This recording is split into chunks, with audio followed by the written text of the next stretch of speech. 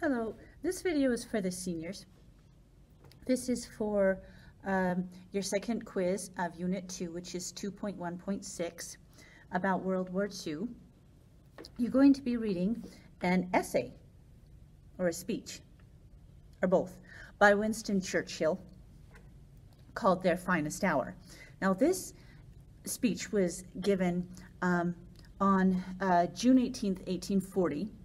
Um, recently, the um, so Germany had been taking over different countries in France, bit by bit by bit, and they had captured they captured Paris and they were moving across France towards the coast.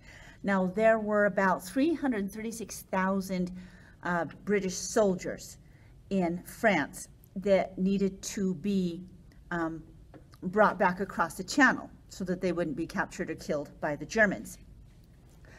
And um, so Britain mobilized a whole bunch of like private boats to go across the channel, pick up these soldiers and carry them back, whilst Germany is like coming closer and closer and closer and closer. And they did this in a place called Dunkirk, France. And, and they were able to get, uh, before the Germans got to them, they were able to get these men across the channel from France to England in time. And Winston Churchill made this speech. Uh, so anyway, the, the last of the men got across the channel on June 4th of 1840. And Winston Churchill made this speech on June 18th in, um, in response to this fast mobilization of all these boats to rescue these men. And as you're reading this speech, I'd like for you to think about the three parts of rhetoric logos, logic, ethos, ethics, or a sense of right and wrong, and pathos, which is emotion.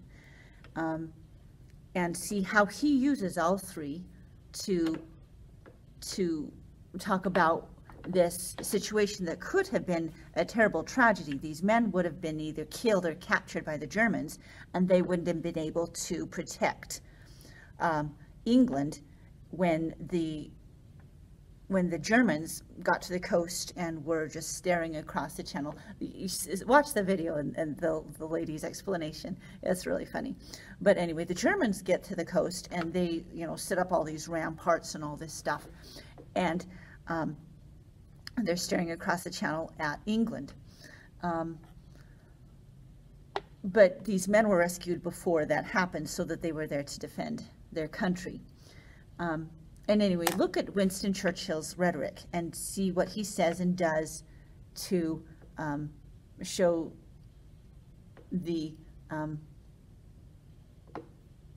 show the heroism and, and the awesome things that happened in the rescue of the soldiers at Dunkirk.